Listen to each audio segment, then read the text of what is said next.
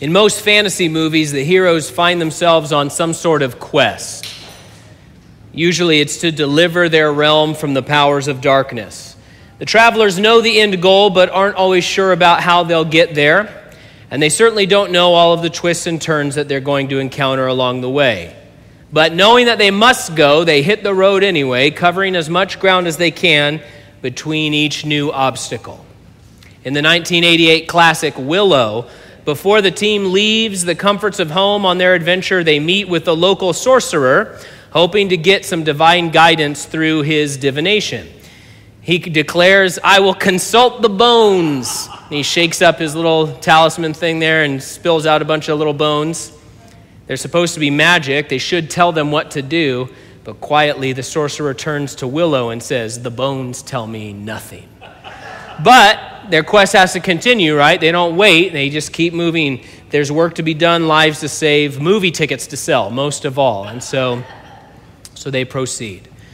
From reading God's book, the Bible, we know that the Christian life that we're living is a journey, right? It is a quest that we're on. It's part not only of a uh, individual quest as we grow to become more like Jesus as he conforms us and as we develop in our faith, but it's part of a global rescue mission to deliver people from the kingdom of darkness into the kingdom of life.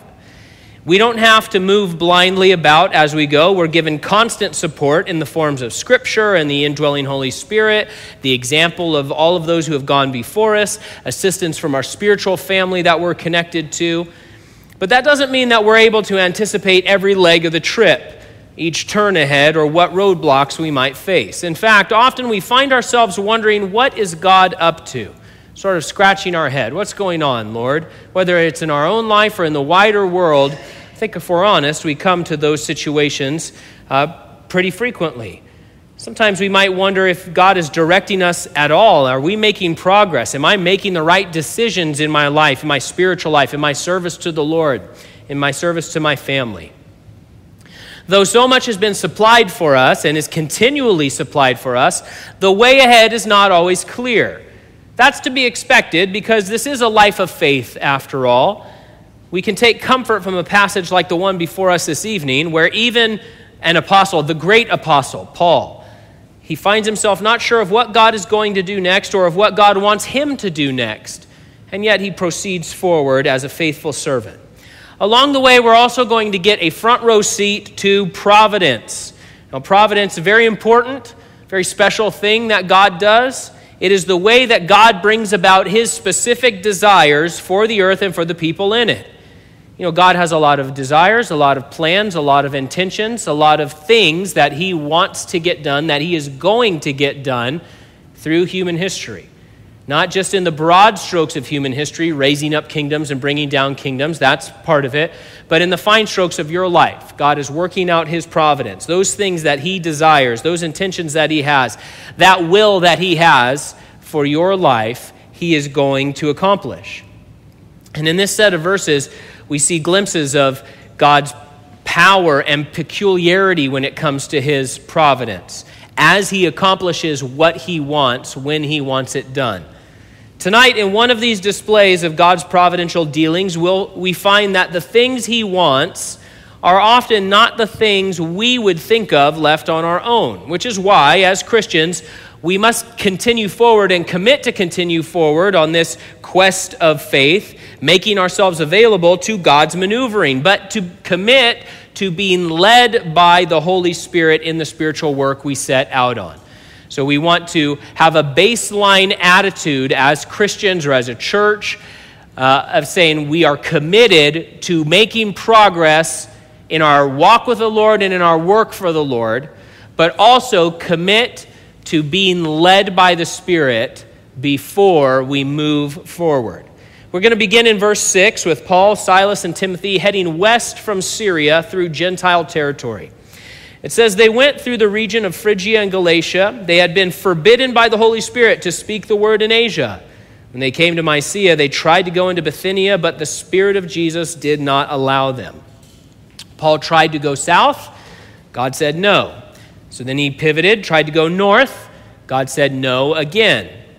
What an amazing thing to read if we just step back for a moment and, and really uh, take a minute to chew on what we read here.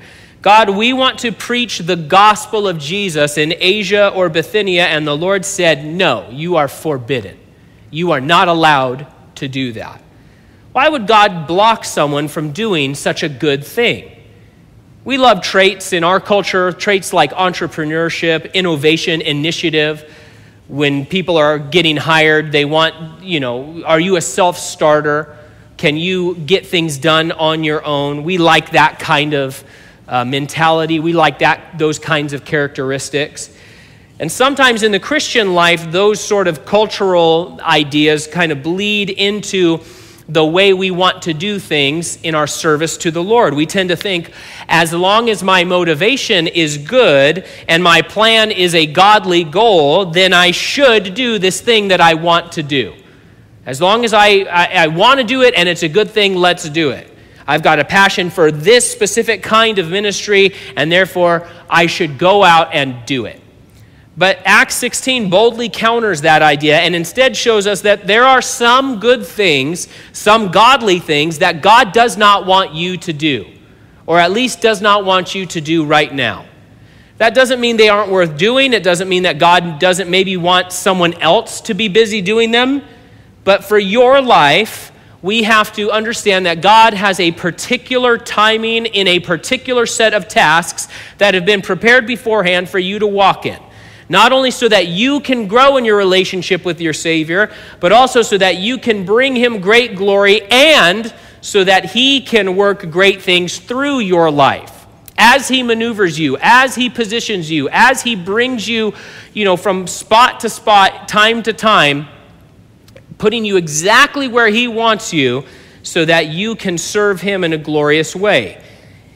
It is His plan that we're putting into motion in the Christian life. It's not our plan, right? And so while the Lord gives us a lot of freedom and He is a God of grace and He is a God of many gifts and He is a God who, who just loves to uh, uh, uh, treat us like a father treats his children, it's God's plan when, when it comes to me serving the Lord or my idea for how to glorify God out there, it's His plan, it's His will, it's His intentions, it's not mine. We talk about this sometimes. You know, sometimes the Bible uses the image of an ambassador, that you are an ambassador for Jesus Christ. And if we think about the role of an ambassador, the idea is ideally, if you're an ambassador for a government, you are no longer an individual, right? When you show up to that diplomatic meeting, you're no longer the individual with your own ideas and your own plans and your own whatever. That's going to be a real problem, right? Well, you know, the Congress and the president said this, but I think this would be a great idea. That's called an international incident. That's how wars get started, right?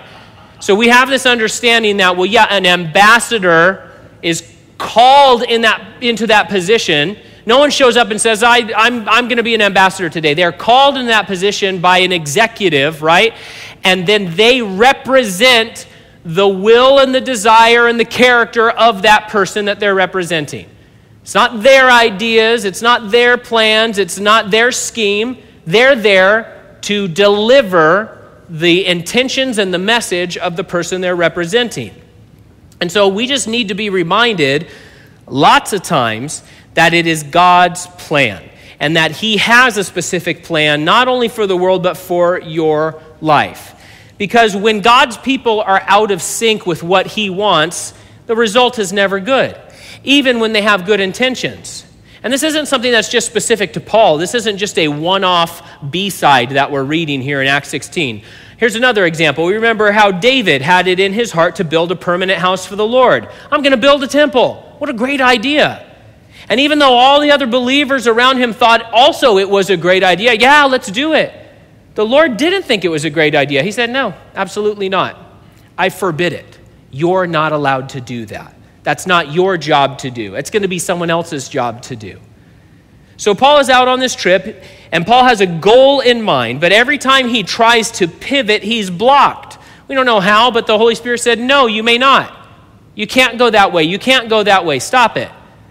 The fact that God didn't just give Paul a specific leading the way he had to Philip back in chapter 8 gives us something to think about.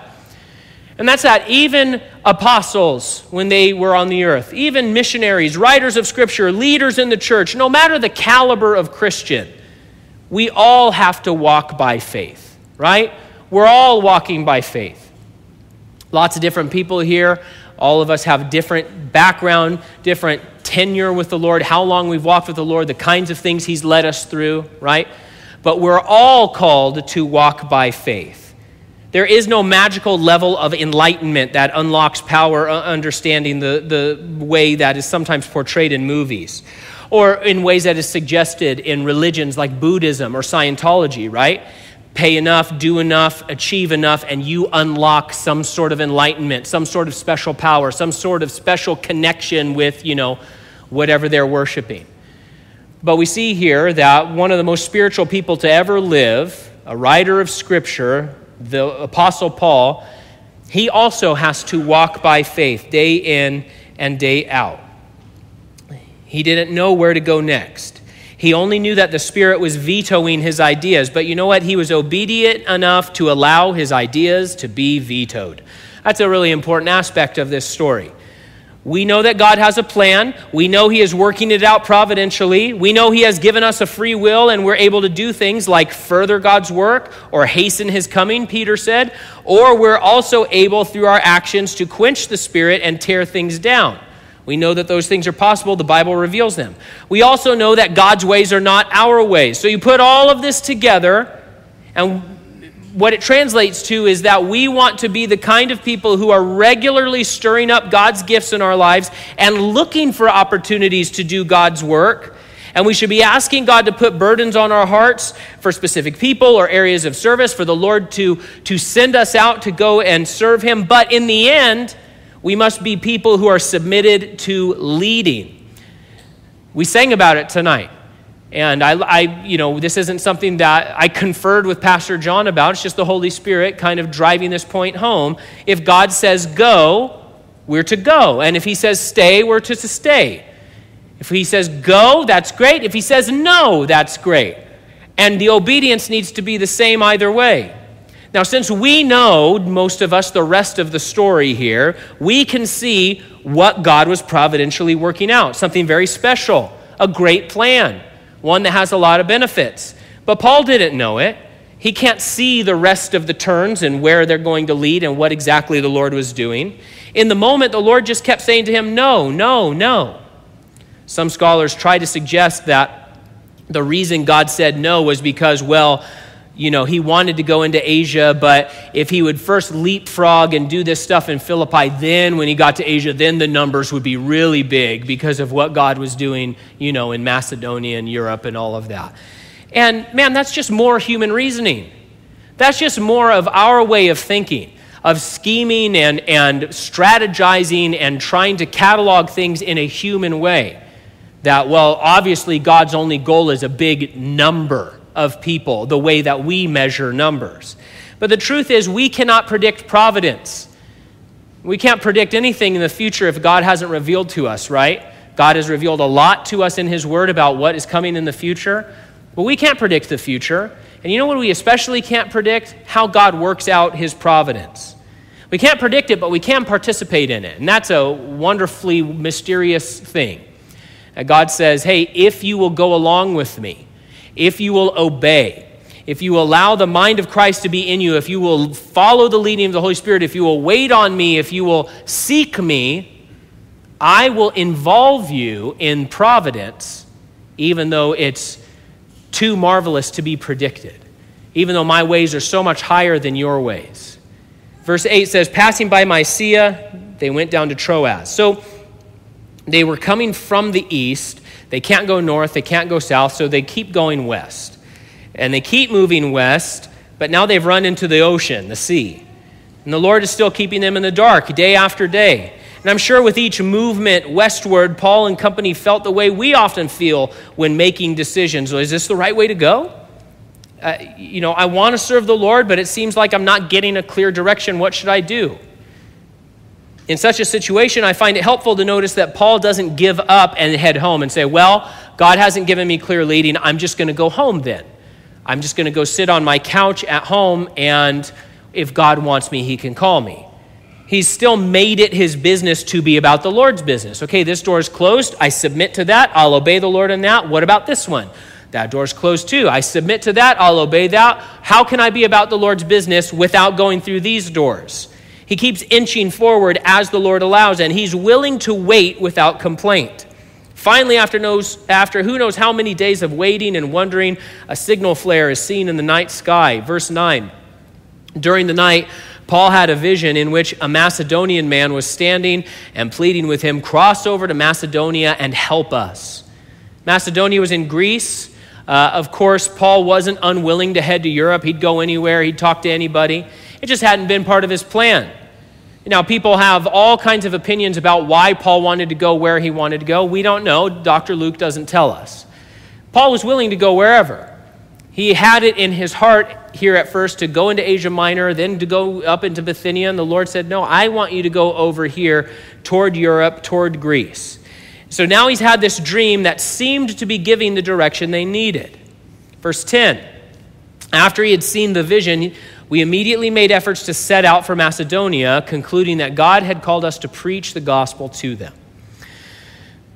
Recently, I saw a video of a service at a prominent church up in Northern California where some of the leaders, who they tell their people that they are apostles, they said they had a prophetic vision in which they were carrying out a prophetic act, and that this prophetic act would be very, very historic.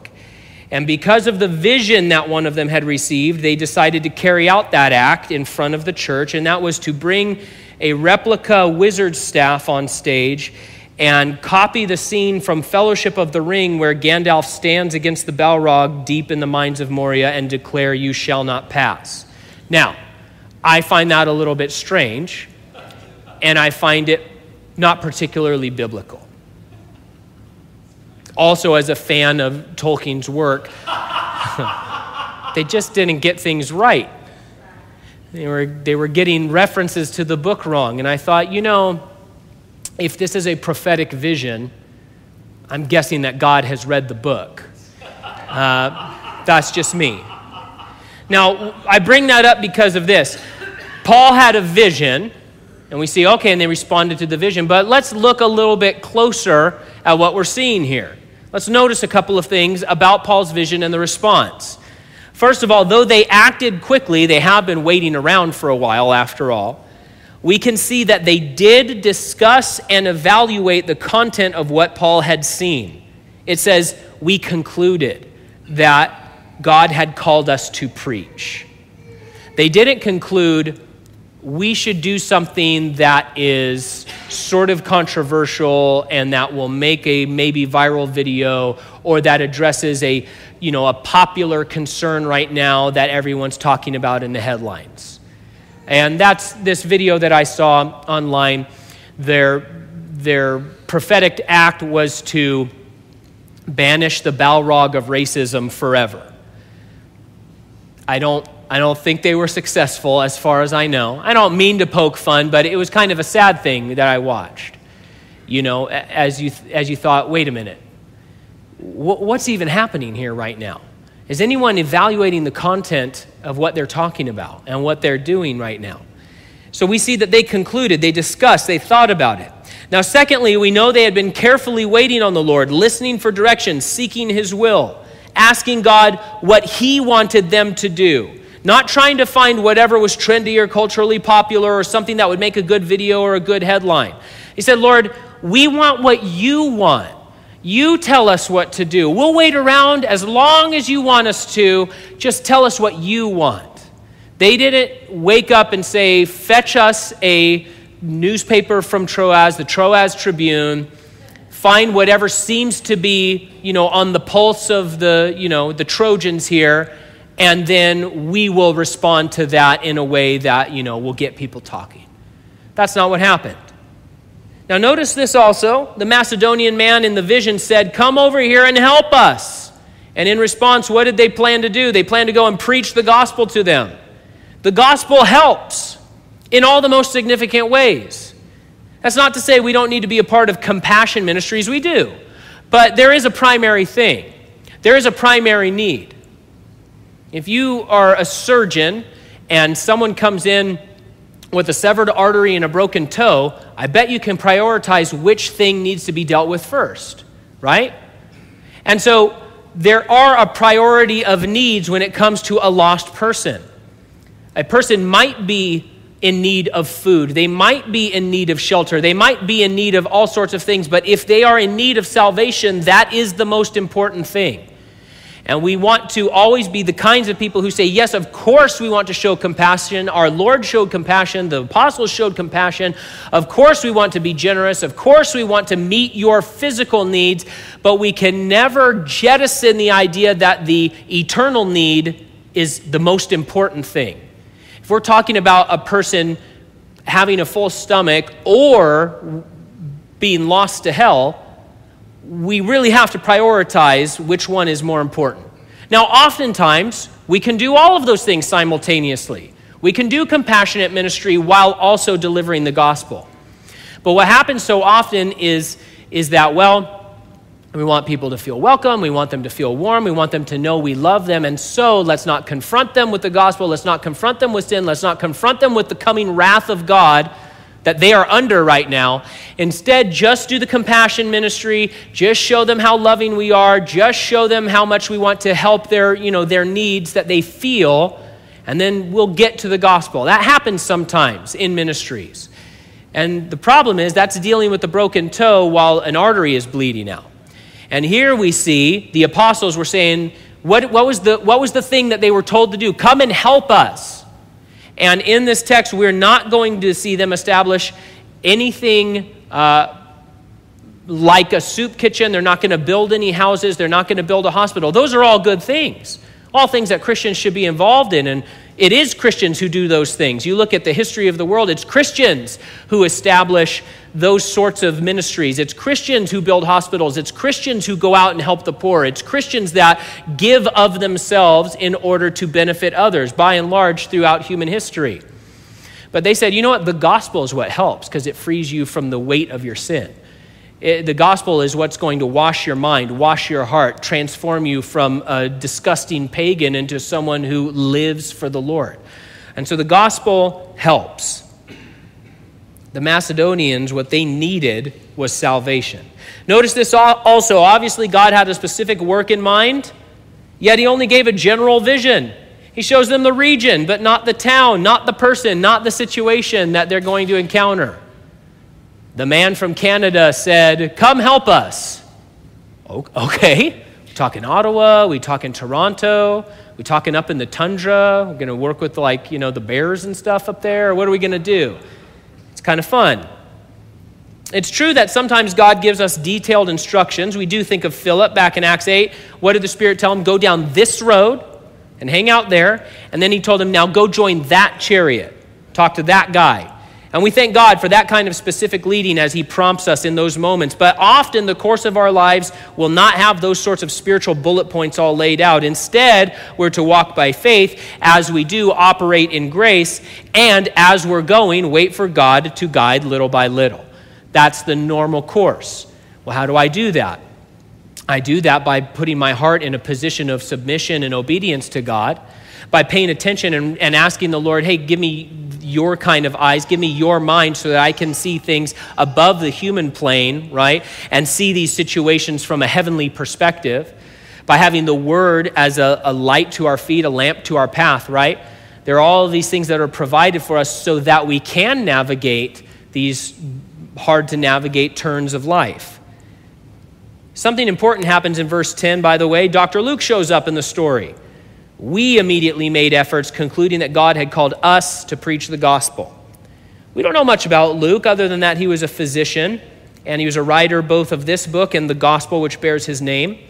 He would be a faithful and longtime companion of Paul. And as a man who was constantly being beaten and afflicted with health issues, I'm sure it was pretty nice to have a doctor on the team. Whether these fellows all knew each other already from Antioch, some think that, you know, they probably knew him already and he was in Troas. We just don't know. But it's clear that God was working out his providence to get these guys together, working together. Because if Paul had gone up to Bithynia, down to Asia Minor, there's no meeting with Luke at Troas. And, you know, the partnership between Paul and Luke is one that we still benefit from today. Aren't you thankful they got hooked up together so that he could start cataloging the things that were going on, uh, so that he could be with Paul and uh, minister to him? It doesn't seem like Paul had planned to bring a physician on the road with him, but God, it seems, was thinking, oh, you're going to need a doctor. And I've got one prepared. And he's positioned in Troas, the launching point from where I want you to go. And he's not only going to be able to tend your many wounds, he's also one of the finest historians the world has ever known. And he's a gifted evangelist. Providence is pretty neat. Let's get you to Troas. Let's get you hooked up with this guy. Before setting sail in verse 11, one more thing to consider. It says, We made efforts to set out to Macedonia. They weren't the kind of guys who just let go and let God. They weren't the kind of guys who said, Well, I have a vision for ministry, and now it's someone else's job to go carry it out. This sometimes happens in the church.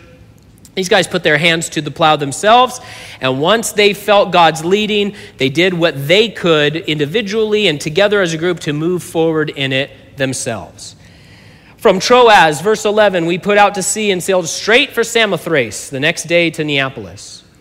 The language indicates that the wind was with them, carrying them swiftly from Asia to Europe. In fact, it's going to take them more than twice as long to make this trip on the way back. Okay, the Lord is leading. He showed us the way. We've had a vision. He built up the team. He put a jet booster on our ship and get us across. That makes the arrival in verses 12 and 13 all the more startling. Verse 12, and from there to Philippi, a Roman colony, a leading city of the district of Macedonia. We stayed in the city for several days. On the Sabbath day, we went outside the city gate by the river where we expected to find a place of prayer, we sat down and spoke to the women gathered there. So all this build up, and nothing happens. I mean, honestly, nothing happens. What's going on? They get there, there's no synagogue, meaning there weren't even 10 believing Jewish men in the whole city. They hang around for a few days, there's nothing to do. Where's the man from the vision? Where's the work? I thought we were going to strike oil here. And it seems like they just kind of were going like this for a few days. And I guess we'll wait till Saturday and go down to the river and see if anybody's living in a van down by the river. In Willow, the team goes through a major effort to get to the castle at Tir Asleen If they can just get there, they keep saying that if we can just get there, everything will be right as rain, the quest will be over. They finally arrive to discover the castle is defeated and deserted. Quite a letdown, and so the quest continues. Paul and the guys finally get to the weekend and they head out to the river, hoping that some Jews might be meeting there. Now, what must have seemed in the moment like a letdown, we know was God's providence. He had a very particular plan for Philippi, a wonderful plan. And his plan was going to happen on Saturday. God's plan was going to happen on Saturday. Maybe they got there on a Tuesday and God said, Yeah, my plan's happening on a Saturday. And thank the Lord that, that they were willing to wait.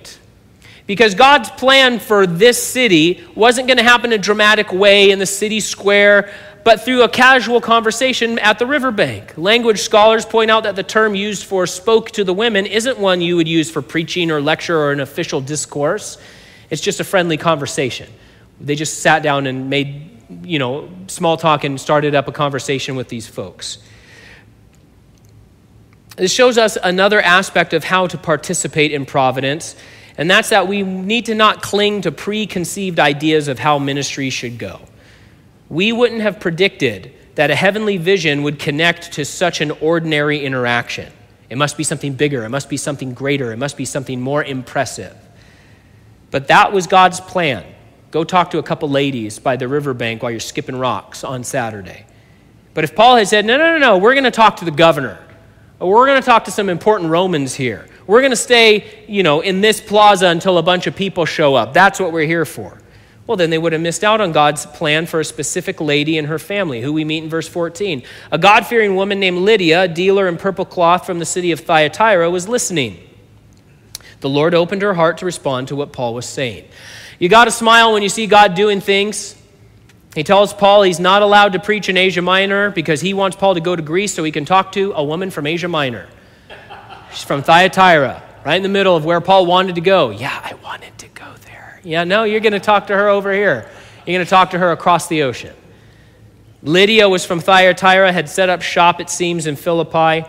In looking at her conversion, we can notice a few things. First, look at what God will do in his effort to reach one lost lamb. Of course, others were going to be saved on this visit. We know. We, we've read the rest of the book. We understand that it wasn't just, just this lady. But look at what God will do in order to reach out to, in this situation, one lady who will be on the riverbank that Saturday morning. Look at what he will marshal together, the innumerable elements brought together so that this lady could hear the gospel and have a chance to be saved. And then through her, others. And then through them, others. Let's also notice the process of her conversion. This is important because there are some Christian traditions or systems of theology that say that God's grace is irresistible, that He has predetermined who will be saved and who will not be saved, and that there's nothing you or I or anyone can do about it, other than that we are forced one way or the other into salvation or not into salvation. On the other hand, there is the historic heresy of saying that salvation is, is, of man's initiative, right? That man somehow goes to God of his own accord and says, Well, I realized on my own that I need salvation. Will you save me? And God kind of says, Well, let me see what I can do for you. Okay, both of those things are not what the Bible teaches, and both of those things are incorrect. What do we see here? We see a biblical process of salvation. You have a woman, Lydia, a hell doomed sinner. We don't know her whole story, but at some point, she recognized that God must exist, whether through the testimony of creation or exposure to the Old Testament.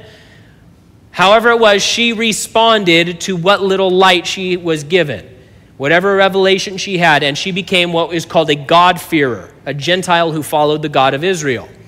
Now, God, in his providence, orchestrated uh, an innumerable series of events so that he could get a preacher of the gospel of Jesus Christ in front of her. And then through what we call prevenient grace, God opened her heart, meaning He freed her will so that once she heard this gospel, she was able to respond to it one way or another. Notice, God did not outfit her heart with belief. God didn't put belief in her heart. He opened her heart so that she was able to respond. You see, the work of salvation is all God's. It's His initiative, it's not our initiative. But God does not force his grace on anyone. He invites us, right? He has given the invitation to the whole world.